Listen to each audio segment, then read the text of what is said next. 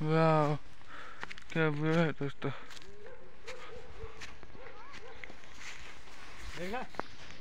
ओ भाई हाँ बहुत मस्त है